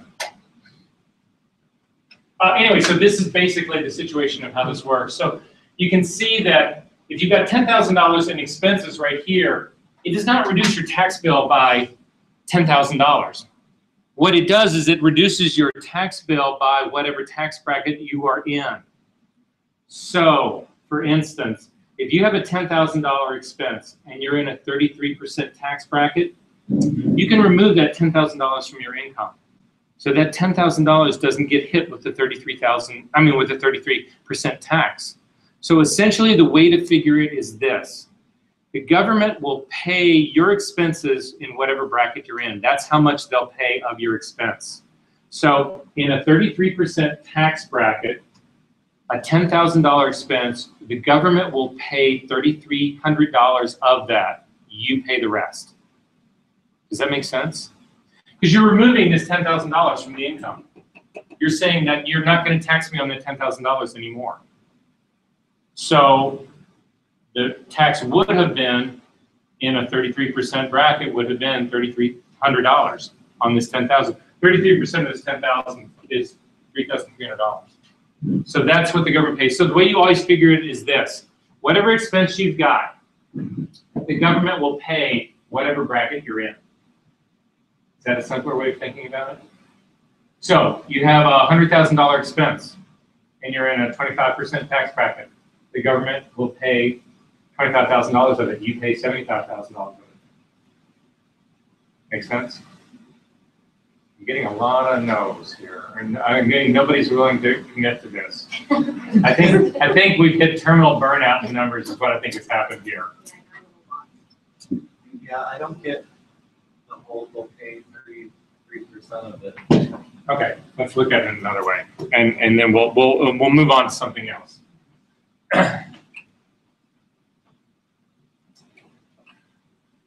Let's do smaller numbers, let's do ten thousand dollars. Hmm, Okay. Ten thousand dollars. Um, so, uh, again, a quarter of ten thousand dollars would be, uh, two thousand five hundred dollars, right? So twenty-five percent. Twenty-five percent of this equals two thousand five hundred dollars. So that's what the government gets is $2,500, and you get 7500 That's what you're left with, right? Okay, let's cut this in half. Let's say you have a $5,000 expense. So I've got $5,000 expense. I've still made the 10000 was what I was uh, bringing in. So actually I made $5,000. So again, 25% of $5,000 is uh, 1,250.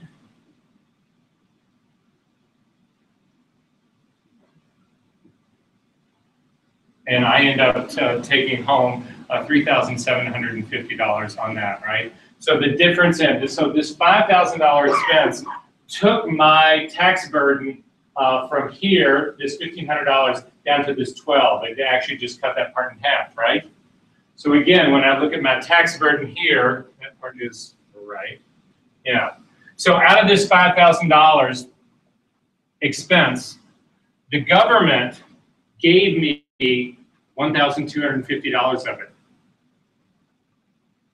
This five thousand dollar expense reduced my tax burden by one thousand two hundred and fifty dollars. So you're just not paying taxes on that five thousand dollars. Exactly, because it was an expense. That expense gets removed from my income, so it's no longer taxed. It's not in my income. But what I save on my taxes is not the five thousand dollars. I don't get, if I have a five thousand dollar expense, I don't take five thousand dollars off of my final tax bill. What I take off of it is what the government would have taxed that money at the rate it would have been, which is one thousand two hundred fifty dollars. So again, whatever your expense is, however big it is or small, what the government will pay of that expense is your tax rate.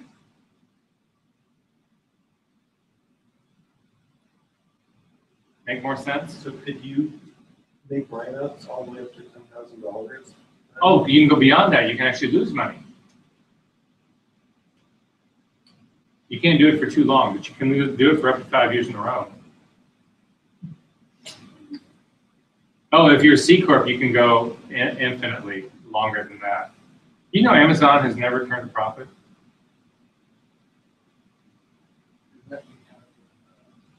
They continue to invest far more heavily in, than what they make. But their business is, is, is, it's exploded. The value of their business is gigantic, but they've never turned a profit, not one yet.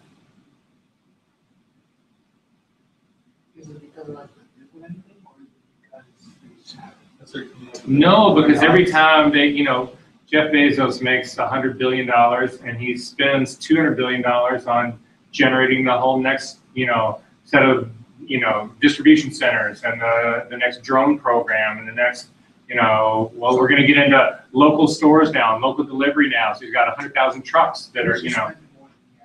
Yeah, but again, the value of that business is completely outweighing the issue about profit. That's what he's saying. He's saying, yeah, I keep losing money, but the value of our business is exploding. So I'm losing a million dollars a day, but I'm, but the value of our business is, it's growing at five billion dollars a day. So we're actually better off. So does that mean the investors are not getting any dividends? So That does mean that.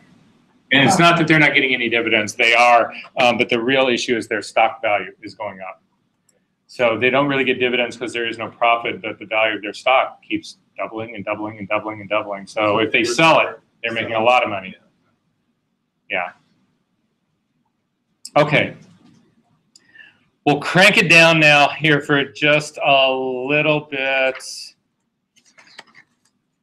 Yeah, we'll talk about one last thing really quickly here. Um, I know you guys are a little bit fried right now, so I'm going to try to kind of kick things back to something that's a little bit simpler. Um, think about this stuff over the next week. If you are still on the fence about this the next week, we can go through this a second time because a lot of times I find that again, with fresh mind, going into this a second time, whatever. But what I can say to you is this, is that this is how, these are the things that you need to embrace if you expect to actually have a business that you can sustain.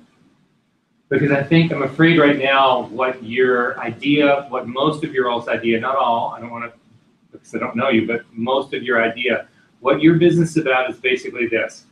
I make money, I spend money, and whatever's left over is a good thing. And if nothing's left over, I can't make my bill payments, I go into credit card debt.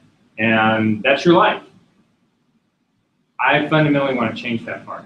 I want you to leverage every possible thing that you can leverage. I want you to keep more of your money. The more of it you can keep, the better off you're going to be. The less likely that scenario is going to get. So these things become an issue for us. So let me ask you this. In spite of this math right here, forget this part. Is the whole idea that expenses get removed from your income before it is taxed? Does that make sense to all of you guys? That's sort of the easy part, right? I made $100,000, but it cost me $50,000 in business. So what's left over is what's taxed. The difference in those two. Is that, is anybody still struggling with that guy? So for instance, you have to pay your accountant. Well, your accountant takes the, whatever you're paying your accountant, that gets removed from your income because you had to pay the accountant to be in business, right? You had to buy a new camera. That comes off of your income. You had to hire an assistant for a photo shoot. That comes out of your income because that's money you're not making. Somebody pays you to do a job, $1,000, but you have to hire a $200 a day assistant to do the job. You pay the 200 bucks, that comes out of the $1,000 that they paid you. You make $800. It's that simple. Are we good on that? Okay, so that part actually works. And so this list that I've given you is actually a really good list of the things that you guys should be considering taking off. These are all legitimate expenses that you guys, if you have to fix your camera, that is a legitimate expense. So what is not a legitimate expense? Yes. Um, well, I saw wardrobe on there. I thought that wardrobe wasn't able to be a write-off. It is not able to be a write-off. Personal wardrobe is not, but wardrobe that you need to rent to do an advertising shooting is. So this wardrobe category that sits right here, this is not my wife's latest coat.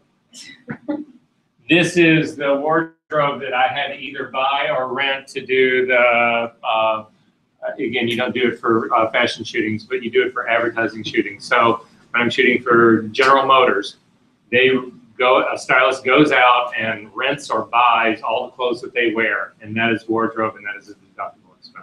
But we couldn't like, like for weddings, if the dress nice, you couldn't. That is personal. Right. No, but if you were, let's say you were, eh, you decided that you were going to become a specialist in horror wedding photography, and you went out and bought a bunch of prop dresses that were all slashed up and covered in blood that you could use for your business, that is not your personal wardrobe. That is wardrobe that would be legitimate for your business. So if you became a boudoir photographer and you went out and bought $5,000 worth of lingerie that you're not wearing, it's not your lingerie. It's not personal. It's stuff for your business. The business owns that lingerie. Um, then you can deduct that. What happens if you buy something for a shoot and then what happens with it afterwards? Net- net. Tax strategy number three. So if I buy a pair of Jimmy Choos for a shoe Yes, and then use them, yes. and then whatever happens to them afterwards, that's, that's a strategy. In theory, if you return the shoes and get the money back for it, legally, you would have, basically, the expense is, is, is a wash. You paid fifteen hundred dollars for the shoes, but you took them back and you got the fifteen hundred dollars back. It's basically, if they got damaged, then the, uh, the damage, the difference in the two, they said, okay, we're only gonna give you thousand dollars for these, because it's gonna cost five hundred dollars to fix them. That is a legitimate expense for you. And that's not even something you have to actually figure out, because what ends up happening is that you pay the fifteen hundred dollars, that's your, uh, that's your expense. They give you a thousand dollars back, that is income. The two offset one another, and there's a five hundred dollar expense that remains at the end. So what if they are good and you just bought them?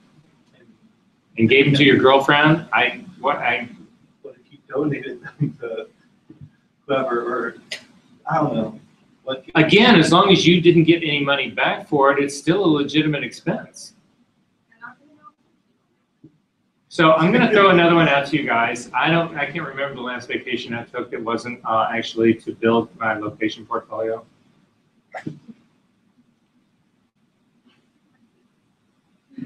You guys came here expecting something.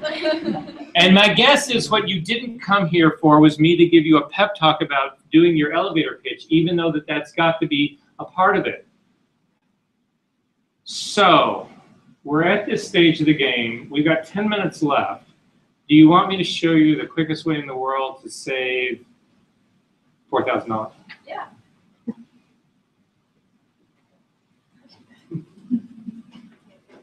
You can't do this as a student because as a student, you actually are considered, although it's really weird how they work that part out. Um, in order to do this, you actually have to have a business. So you actually have to have income to be doing this. So it can't be that as a student, you're a photographer and you've shot a couple of concerts and you made a couple hundred bucks. You can't turn around and do what I'm going to show you right now. It's got to be once you sort of have a reasonably legitimate thing going on, right? So, but you're legitimate, you're, you're, the, the thing that you've actually going on, um, will you do calculations for me, please? Okay. Uh, just so that we can do it really quick. Um, my account, my original account, who's unfortunately died, uh, since, he was, uh, he was such a brilliant guy. He, my very first day, and this is one thing I will say to you about accountants, is that, uh, everybody's up for negotiation, and what I would strongly suggest, I don't, I'm not, I'm actually very good at math. Um, I'm very good at numbers and envelope letters, but good at numbers. Um, I don't want to do that work. When I was actually had everything going in New York, I was doing, this is the number of tax returns that I do. So, federal, state, times five for the corporation, because I had to do quarterly returns. I did the same thing in New York. I counted this up once. At the end of the day, I was doing 36 tax returns a year. I don't do that.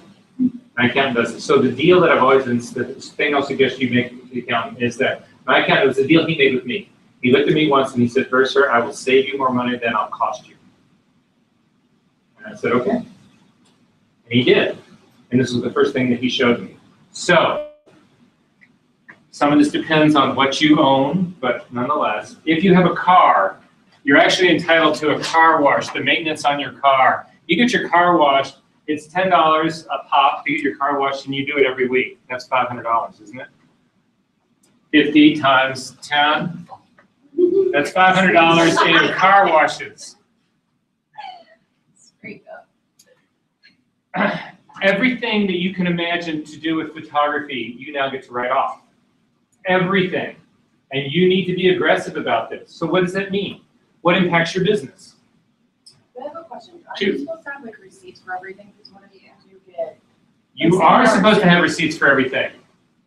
Because when I was like, when I was modeling and during like modeling show, like I would keep every receipt for like water bottles or something, but I have Which you of should. them at the end of Which you should. just in case. So I'm temporarily going to turn off the audio.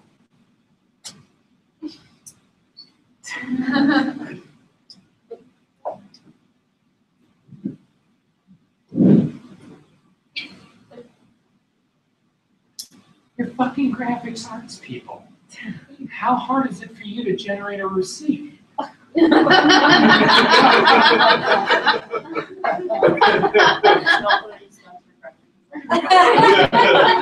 That's even better. Then you bill yourself for the graphic artwork to generate the most receipt. Hello?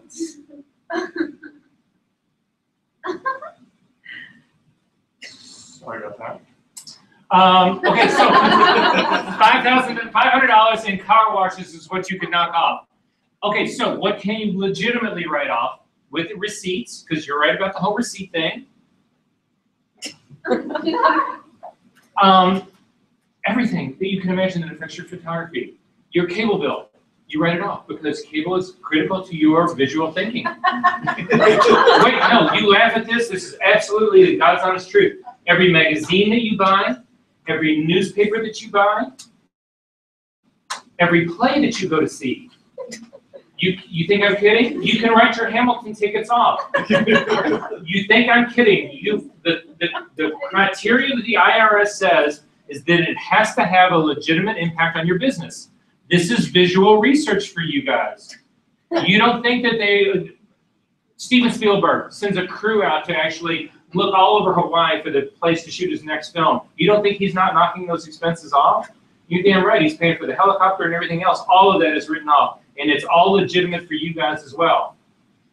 Now, I'm not suggesting anything illegal, um, but legitimate, and you need to really start thinking in broad thoughts about what is legitimate. Every possible visual experience that you can have is a legitimate write-off. It is a, it's informing your visual, everything about your visual. Every book that you buy, every everything that you would do that is related to that is a legitimate expense. I write off all of my cable. I write off all of my internet. I write off all of my all of that. It is all material that I need to do what I do. The books that I get, the magazines that I get, all of that stuff. It's all written off. Look at my list. There's magazines and video in here someplace. Movies and videos right here. That's what I'm saying. This is a good list for you to think of. So, that being said, every single day you buy a newspaper because you need to stay in touch. How much is a newspaper in the city of Chicago? You have no idea, right?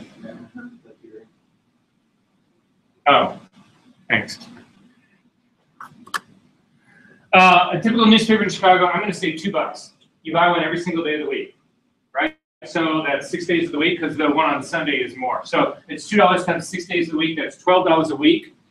We're just going to do the weekly one first, and then you can uh, we'll just multiply that times fifty-two. So you not only buy that one, but you also buy USA Today because you want to be informed not just locally, but you want to be informed globally, right? That's another three bucks a day, whatever. So instead of twelve, that's now um, uh, actually that's twelve times six.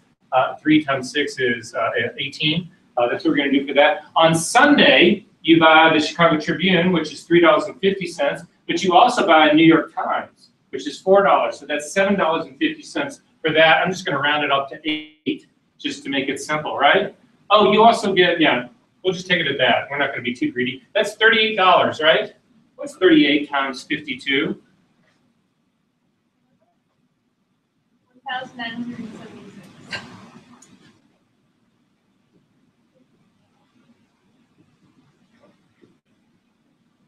The thing about keeping receipts is that most people will tell you you don't need a receipt for anything under twenty-five dollars. How many people in this room take taxis everywhere they go? Work-wise, yeah. Sure, taxis everywhere you go, and every time you take a taxi, you ask them for a receipt. I know you do. And they also, they don't hand you just one of those little pieces of paper. They hand you multiple copies of blank receipts, right? What is your taxi expenses a week? It'd easily be fifty bucks a week, but let's not be greedy. Let's just say twenty-five. What's twenty-five times fifty? Uh, one thousand two hundred, One thousand what? two hundred and fifty. Two hundred and fifty? Parking. Do you use the parking app or do you actually feed the meter now, all the quarters? Parking app, No, you don't. You do some parking app, but about half of what you do is quarters. Because your phone, you're always on it and it dies all the time, whatever. So your parking is probably at least three bucks a day, right? That you can't really account for. It's three dollars and quarters that you jam in the meter every single day, five days a week, right? That's fifteen bucks a week times fifty weeks. How much? seven hundred and fifty. I actually used to do this with the bus now. The problem with uh, Ventra Card though is that you can't do this anymore because it all goes through that account, so you really can't do that part anymore. But let's just look at this really quick. So, can you add that number, set of numbers up for me really quick? Wait, so you can't, like Uber, you can't call that, you don't have a receipt for it? Of course you can. You Right? you did email receipts and stuff.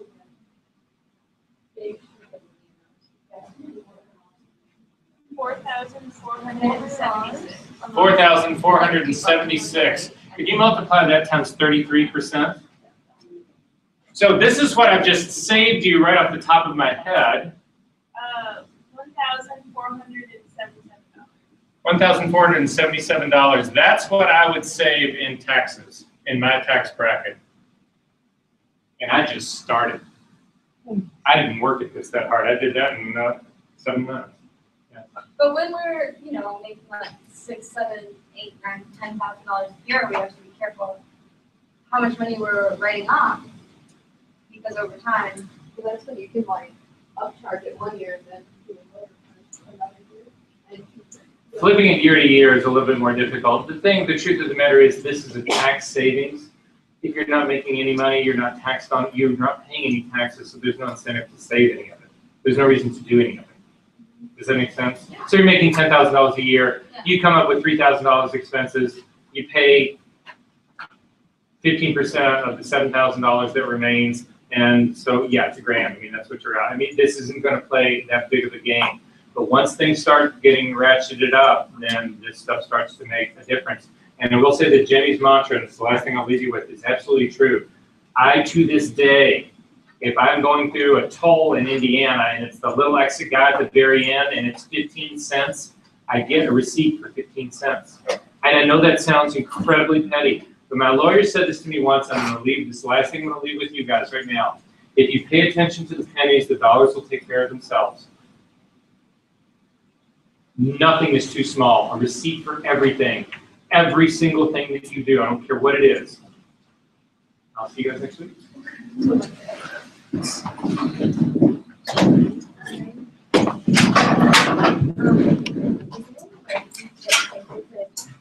Take pictures on Friday earlier, and then we have scheduled. Well, I thought we did that in studio space. And also, uh, um, I told Jim that's time too. whoa, that's awful. Hey, Morgan. Were you shooting yesterday or something? So to get to the video, go to YouTube, do a search for my name, look on online to make sure you know how to spell it. So it'll be under Yeah. Verser, not under John. Okay. Uh, and my channel will be there and you'll be able to find it. And Okay. so it's, Well, something old that you like. this is what you'll be looking for. This thing where it says freelance business FA sixteen, Okay, that's what you're looking for. cool. And you'll be good. As a matter of fact, that's the one that you missed. Awesome, So you'll be good. awesome, right. thank you. See you next week. Will you show us like your FreshBooks or whatever? Yes, I will. I will. Just as an example. Yes, I will. Alright. Do me a favor, shoot me an email and remind me, because I can actually set it up and show you. I, it'll just be faster. Yeah. You know what I mean? Because they can have it all ready and say, here, yeah. Thank you. Okay. I can't put more than two hours a day. Hey, All right. Um, I have a question. Ask me anything. So last year, I did a sole proprietor for my business, so Uh-huh. I could write stuff off, and Uh-huh. I didn't make a ton of money. Right. And then this year, I just didn't do it at all. Uh-huh. I didn't want to pay an accountant, Right. and didn't have. It'll just good go in your regular income tax return then. So it's Oh, fine, yeah, like, I mean, like, last year, I just did normal taxes, I didn't. I That's didn't- all you'll do this year. Are you sure? I made a lot of money through ten ninety-nines. Yeah, but it'll still, W-9s. yeah, no, but that's still something you're gonna have to show on Okay. your tax return. Just not my personal business stuff. No, but again, every ten ninety-nine that you get becomes an item that it's actually gonna be entered. It's just entered on your tax return on a different line. So that's, that's fine. That's just the money I'm making on my own for weddings, Right, which like isn't that much. It's, it's more every year, but it's still not like, right. But are you declaring? it? Are you? I did one year. All right. All I can say to you is that Not declaring it would be illegal. And that's all I can say. Again, what my accountant used to say to me is that I can teach you to be the